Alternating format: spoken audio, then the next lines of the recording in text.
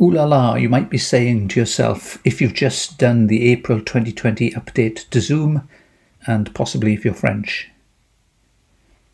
Where's the invite button gone? I know that Zoom are working frantically to improve security, but not being able to invite participants to a meeting, well, that's a bit extreme, even though it would be totally secure.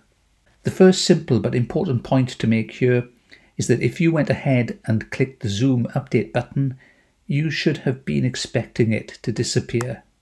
When you're working with a computer, or any digital device for that matter, you should always read very carefully what's in front of you.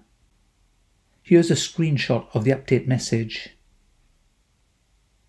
And there it is, Move Invite button to Participants panel. So let's take a look at it. I'm already in a Zoom meeting. I'll move a cursor down into the Zoom toolbar area at the bottom of the Zoom meeting window to show the toolbar, and the invite button has gone.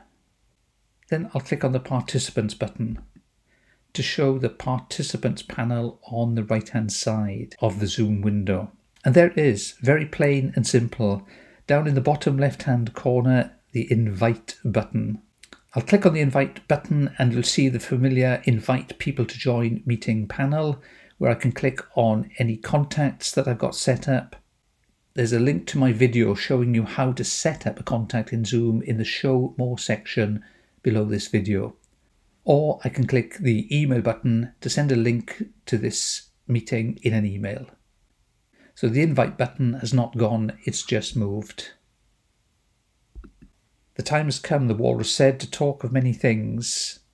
But you could just like the like, and I'll stop talking till the next time. Oh, but sorry, one last thing. You could also click the subscribe button. That really would shut me up.